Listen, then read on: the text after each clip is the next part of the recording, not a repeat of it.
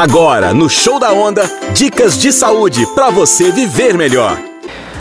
O glúten pode sim ser um vilão para as pessoas que são alérgicas, que são intolerantes ou que possuem algum tipo de doença autoimune. Pode ser um vilão também quando a pessoa está muito inflamada, com dores, dores articulares, por exemplo, dor de cabeça, ou com o intestino que não funciona bem. Nesses casos, pode ser necessário retirar o glúten. Caso contrário, diminua a quantidade e evite os excessos. Você ouviu Dicas de Saúde, a sua saúde em dia.